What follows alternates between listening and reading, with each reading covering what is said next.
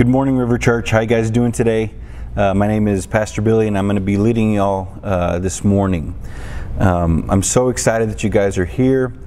I was on Friday. I was calling my students from Pace. I'm a teacher at Pace High School. I was calling my students because uh, we're opening up at BISD again here uh, on Monday, and I was calling my students. They wanted us to call them to see who was going to be in, and some some people were in, excited to come back to school. Other students were not excited, going to stay home. And uh, I realize that we are in the same situation here at church. And I just want to say that whether you are coming in to join us or whether you're choosing to stay at home for now, I just want you to know that you are loved and you're missed, and we care about you, we care for you and we are excited for the day which we believe is soon, soon, soon approaching where we will get together and be able to worship together again.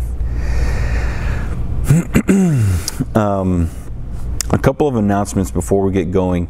Um, we are doing our gospel communities. If you guys are interested in joining, uh, I believe Andre has an online uh, gospel community. Guys, get plugged in, especially in this time of isolation where we're alone, we're isolated, we're by ourselves.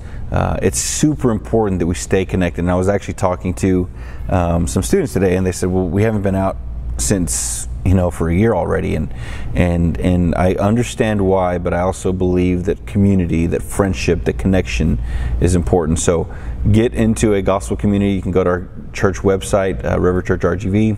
Um, and join uh, a gospel community. It's all it's all there. So, um, and then the other thing too, if you know any high school students, we started our high school ministry. It's Icon.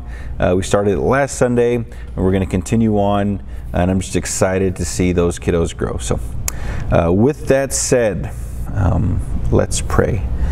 Jesus, we thank you for this time, Lord. We thank you that we are able to come together, whether it's virtually or in person and just we are able to study your word together and hopefully just be encouraged and, and, and sharpened. And uh, I pray that you grow us through your word, Lord. Um, I pray that, that you grow us through your word and that you ease our hearts and that you just give us the strength and the, and, and the power and just to do what you have called us to do, Lord. Uh, you love us and, and you have uh, just been faithful to us, Lord. And I pray that as we move forward, Lord, that you. Uh, yeah, that, that we that we sense your presence, that we that we rely on your strength as we do so. I pray this in Christ's name. Amen. so we're going to be continuing in our Great Exchange sermon series, and uh, so we, we've been talking about this for since January now, and it's this idea of this great exchange, right? This exchange that has happened, and the ultimate exchange that has happened is that, that, Jesus has turned death into life, and and we have that in him and that's such a beautiful thing. Uh, today we're going to talk about one of these great exchange stories that we've seen uh, that we see in scripture and it's the story of this great exchange from going from a heart of stone to a heart of flesh. So this this heart of stone we had this heart of stone uh, now we have this heart of flesh. So that's this great exchange uh, that we're going to be talking about. And so the, the question that I want us to answer as we go through this sermon is why? Why did we go from a heart of stone and why do, do we now have a heart of flesh? So I hope to answer that question as we as we proceed today. Um, First story, though, before we get into that, I want to tell you guys a story. Uh, about uh, about the movie Lion King. Now, Lion King is one of the one of the most popular movies ever. I love the Lion King. In fact, I think the Lion King was one of the first, if not the first movie that I ever saw in the theaters. And so, it is such a good movie. It's so interesting. Um, you know, you, you know the story. You know the story. But there's this really interesting part in the story right? Mufasa, uh, his fa- I'm sorry, uh, Simba, his father had just passed away. He just died, and it was a rather heartbreaking scene. And then his uncle Scar makes uh, Simba feel like it's his fault. And so, what does Simba do? He he leaves the area. He leaves. Um, uh, Pride Rock, he leaves his family and he goes off by himself, right? And he, he goes off as a young uh, a young lion, and over time, you know, he, grows into an adult lion while he's away. but there comes a time in the movie, though, where um, where Simba he has this. It's almost like a. How did I get here? Right? I'm a I'm a lion. I eat animals. I chase things how did I end up eating bugs? How did I end up hanging out with a meerkat and a pig or a hog? Right, Mr. Hog. Um, how did I end up here? and it's a rather real. Uh, um, it is a uh, uh, a, a self awareness, self real uh, realization moment where he he asks him, he's looking at himself in his reflection, and he's almost like, what uh, what I am, what I am now, is not who I am supposed to be. And we see this, we see this in the movie. We see that that Simba he ends up making his way, you know, back to uh, his family. He uh, the, the the the the kingdom that he was a part of has been overthrown by hyenas and by his uncle Scar, and he goes back and you know he saves the day. He he reclaims the kingdom and, and then it flourishes and whatnot. But I think this story is very very relatable to the Israelites, especially in the passage that, that we're going to be talking about today. So, today we're going to be looking at Ezekiel chapter 36, and uh, it's going to be uh, verses 16 through 27. Uh, we're going to do the first chunk at the beginning, and then we'll go through to the second chunk. Uh, but it's Ezekiel chapter 6, verses, this, this section right here is verses 16 to 21. So, let me go ahead and read that for us. Verse 16 it says, The word of the Lord came to me. This is Ezekiel. The word of the Lord came to Ezekiel, Son of man, when the house of Israel lived in their own land, they defiled it by their ways and their deeds. Their ways before me were like the uncleanness of a woman in her menstrual impurity. So I poured out my wrath upon them for the blood that they had shed in the land, for the idols with which they had defiled it. I scattered them among the nations, and they were dispersed through the countries.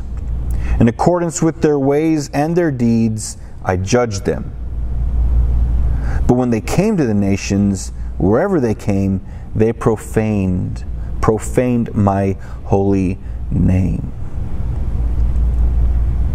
In that the people said of them, These are the people of the Lord, and yet they had to go out of his land? But I had concern for my holy name, which the house of Israel had profaned among the nations to which they came. so the big the, the big idea here, the big thing here is the Lord is holy, and he has concern for his holy name. Right, we, we've talked about this uh, in Leviticus. Right, all of the Old Testament law is pointing to this idea of how holy the Lord is right? And, and as we follow these laws, these rules, as we've been giving these rules, we've been giving these rules, and then we are set apart, right? And the Lord tells the Israelites, Be holy because I am holy. And He's concerned the Lord is concerned here because the Israelites have profaned his name. Right? The Lord is holy, the Israelites have not been holy. All right, and, and, and, as a result of this, the Lord's name was not proclaimed among the nations, but it was profaned among the nations. So what were what were the Israelites supposed to be doing? All right, what were they supposed to be doing?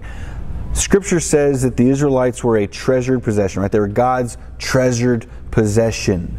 I read uh, uh, uh, an author who talked about the Israelites as being, being described as a treasured possession, uh, and it's different than being like a treasured, you know, house or building or monument. But it's this idea of them being a treasure. They're to be dispersed, right? They're to be spread out amongst the nations, right? That's been the plan from God since the beginning, right? He chose a people to express His goodness to the world through these people. It wasn't for these people, it was for the whole world through these people, right?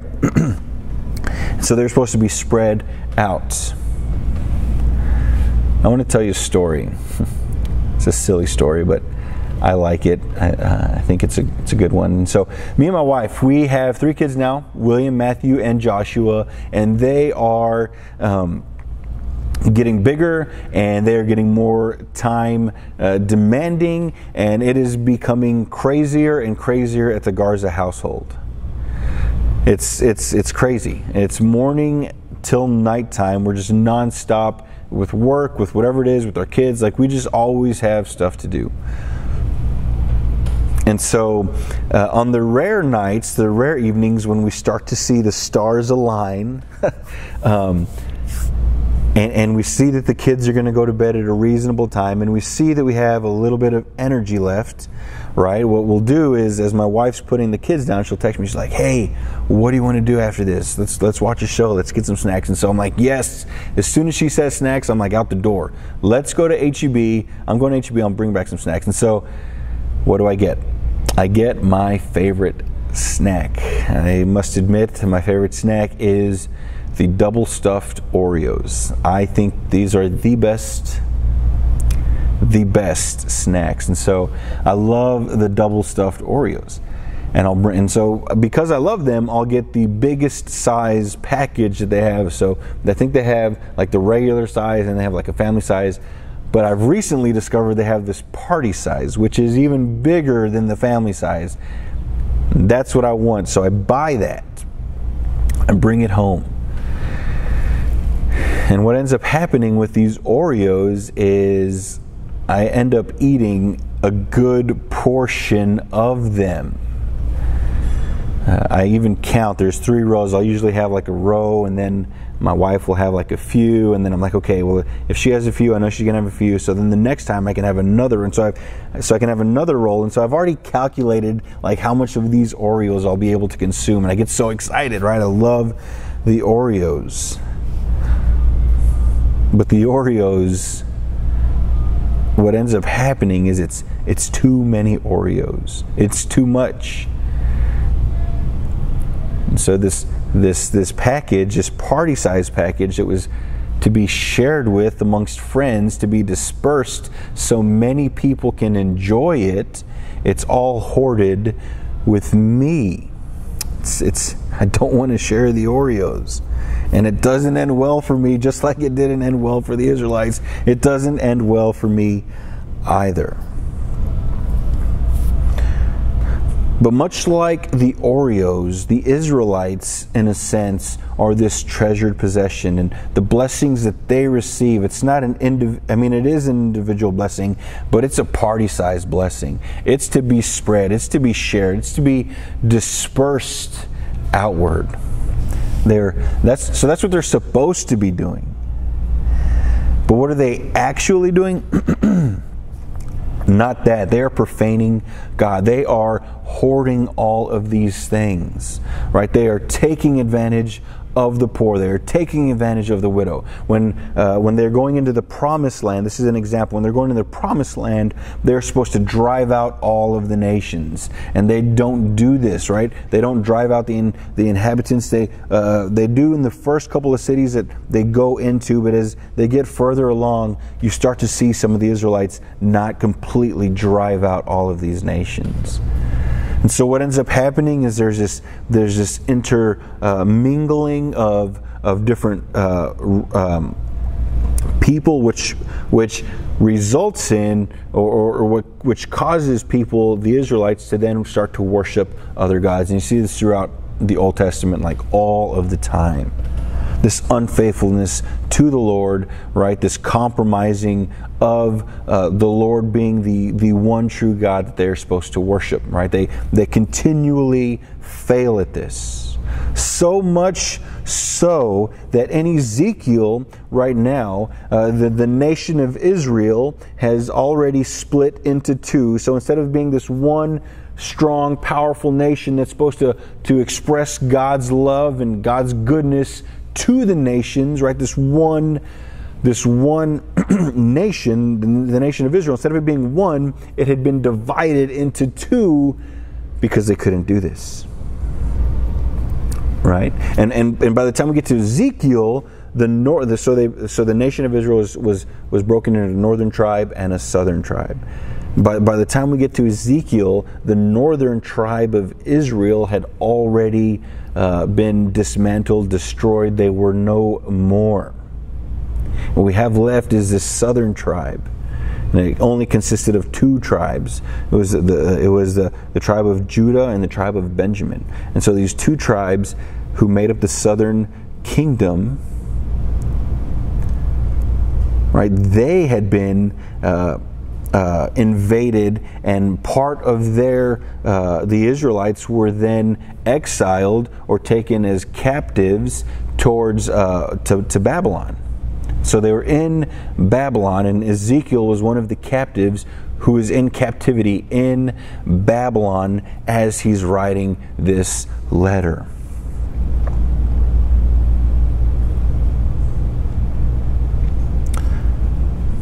Right? And so he is he is writing this letter. He is in captivity. And I would imagine he is much like the way Simba was like, how did we get here? What just happened? How, how did how did I become a prisoner, a captive, and I'm not even in uh, in in the nation, the land that I used to be in. I'm, I'm not even there. It's no surprise, though.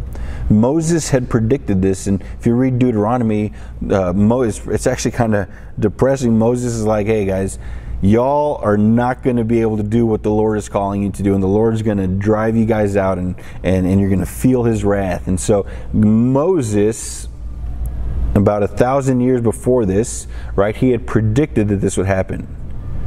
Okay? So it's no surprise. But the big thing from this first section, the big thing is, is you see what the outsiders say.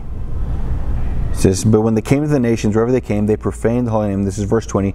They profaned the holy name in that people said of them, right, these nations, these outside people said of them, these are the people of the Lord, and yet they go, they had to go out of his land.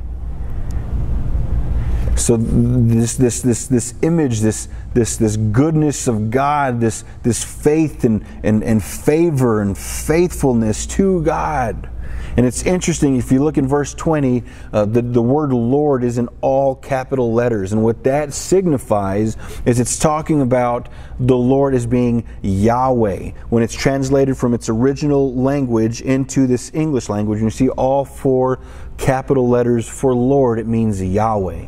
Now, in the Old Testament, there are, well, in the Bible, really, there are many different names for God.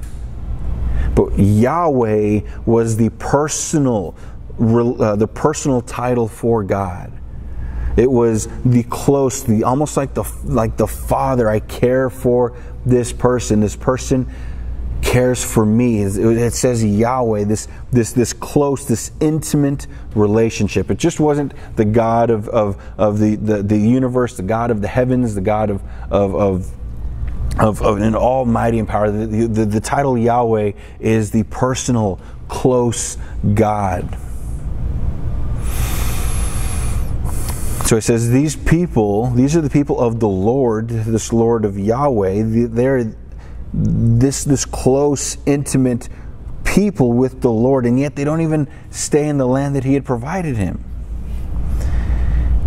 And so the Lord has concern for His holy name, and it was being profaned among the nations. Which brings us to our second point. It's that we have a new heart. We have a new heart. The passage that we're going to read it's the next section in Ezekiel. It's Ezekiel chapter 36, verses 22 to 27. It says, Therefore, uh, uh, verse 22 says, Therefore say to the house of Israel, Thus says the Lord God. It is not for your sake, O house of Israel, that I'm about to act, but for the sake of my holy name, which you have profaned among the nations to which you came. And I will vindicate the holiness of my great name, which has been profaned among the nations, and which you have profaned among them. And the nations will know that I am the Lord, declares the Lord God, when through you I vindicate my holiness before their eyes. I will take you from the nations and gather you from all the, the countries and bring you into your own land. I will sprinkle clean water on you, and you shall be clean from all your uncleanness. And from all your idols I will cleanse you. And I will give you a new heart, and a new spirit I will put within you. I will remove the heart of stone from your flesh, and I will give you a heart of flesh. And I will put my spirit within you, and I will cause you to look in my statutes and be careful. I'm sorry, and I will cause you to walk in my statutes and be careful to obey my rules. So this is it. This is the great exchange. They could not honor the Lord. They could not follow the rules. They could not uh, keep the commandments that were written on stone. And I just wonder, I haven't read this, but I just wonder if, there, if it's a heart of stone, meaning this we need to love through this heart of stone. If you look at the, the New Testament, uh, uh, Jesus sums up all of the um, all of the the, the, the law, all of the Old Testament law, into two things love the Lord and love your neighbors. And so it was designed to get them to love, but they could not love with their heart of stone. And God says, I am going to give you a new heart. I am going to put my spirit within you. Oh man, we're going to talk about this here in a little bit, but to the Israelites who were in captivity, who were, uh, you know, prisoners. This was great news. This was such a hopeful message. This God who has uh, sent them out of their land, who has, has allowed them to be captured by the Babylonians, right? This God says, I am still with you. I am still with you. Beautiful news for them. Maybe you're asking yourself, maybe you're asking yourself, how did I end up here? How did I end up where I'm at? Maybe your life is not going how you wanted it to. Maybe your walk with the Lord didn't hasn't panned out, hasn't been progressing like you've wanted to. Maybe, maybe your situation in life, whether it's uh, relationally uh, with your, your spouse or at work, is not going to, to plan. And you're asking yourself, how did I get here? How have I profaned the name of the Lord amongst the nations?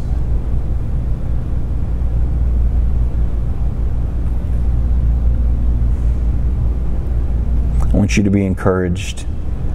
I want you to be encouraged by this Ezekiel 36 passage, guys.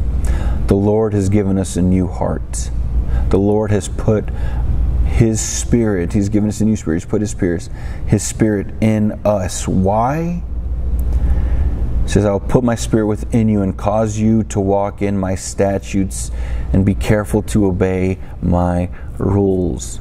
The Lord put His Spirit in us to give us the power, to give us the strength to walk in His ways. I can't do it. I can't do it. I can't just say, yes, I'm just going to try harder today and I'm going to be a good person. No, when I face these difficult decisions, when I face these difficult situations that I know that the Lord has called me to, and I could say one of two things. I could say, you know what, I'm just going to try hard, I'm going to push through. And I might be able to get through, but what, what Scripture is saying right here is that the Lord will give us the power. He has put His Spirit in us to allow us to do what He has called us to do. And so I would encourage us, church, I would encourage you, trust Him. Trust Him in what He says. Trust Him that He will do what He says He's going to do. He says He has put a new heart inside of us, and His Spirit has been poured into us to allow us to do what He has called us to do. Hmm. Which brings us to our last point. It says, We can move forward. We can continue forward. Acts chapter 2, verses 1 through 6 says, When the day of Pentecost arrived, they were all together in one place, and suddenly there came from heaven a sound like a mighty rushing wind, and it filled the entire house where they were sitting, and divided tongues as of fire appeared to them and rested on each of them. This is the outpouring of the Holy Spirit. It says, And they were filled with the Holy Spirit the spirit that God had promised to the Israelites in the Old Testament in Ezekiel is happening right now. It says, and they and and I poured out my spirit, and they were filled with the Holy Spirit and began to speak in other tongues as the Spirit gave them utterance. the Lord fulfills his promises. He fulfilled his promise here. And this is a beautiful picture, guys. It says, Now there uh, now they were dwelling in Jerusalem. I'm sorry, and they were filled with the Holy Spirit, and they began to speak in other tongues. The Spirit gave them utterance. Now they were dwelling in Jerusalem. I'm sorry, now there were dwelling in Jerusalem Jews, devout men from every nation under heaven. And at this sound, the multitude, all of these people, came together and they were bewildered because each one was hearing them, the apostles, speak in his own language. And so you see this beautiful picture of Ezekiel, right? And, and, and God uh, being profaned among the nations. You see in Acts chapter 2 that the, sport, the, the Spirit is poured out to the apostles. And what happens right after that? They are proclaiming to the nations. This is a beautiful picture, guys.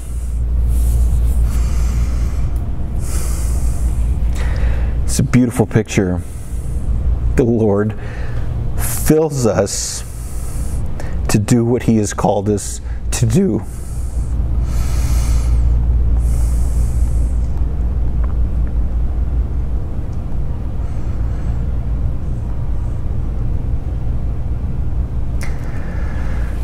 So, where do we go from here? Where, what do we do? What's our application point?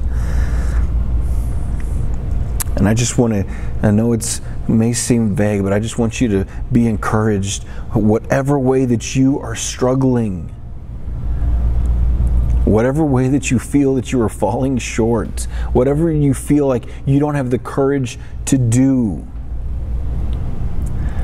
in the way to make much of the Lord. Maybe you're fearful about sharing the gospel.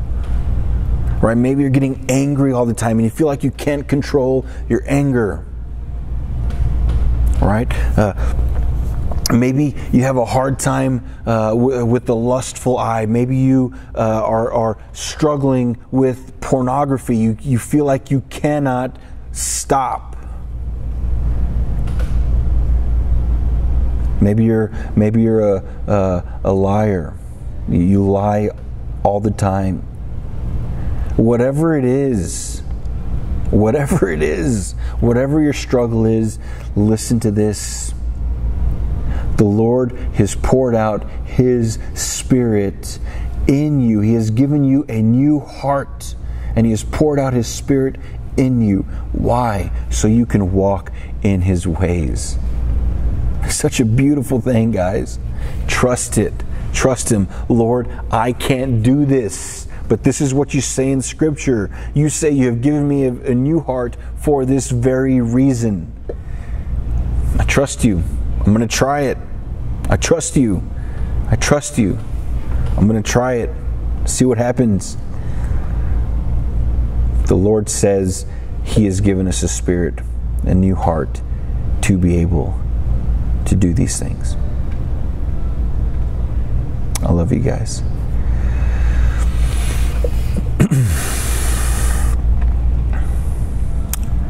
River Church, I love you guys. Um, I miss I miss you guys at home. I, have seen a few faces who I know have been home who are now starting to trinkle back into church, and I, I, I miss you guys, and I can't wait for us all to be together again. Uh, I love you guys. I'll see y'all next week.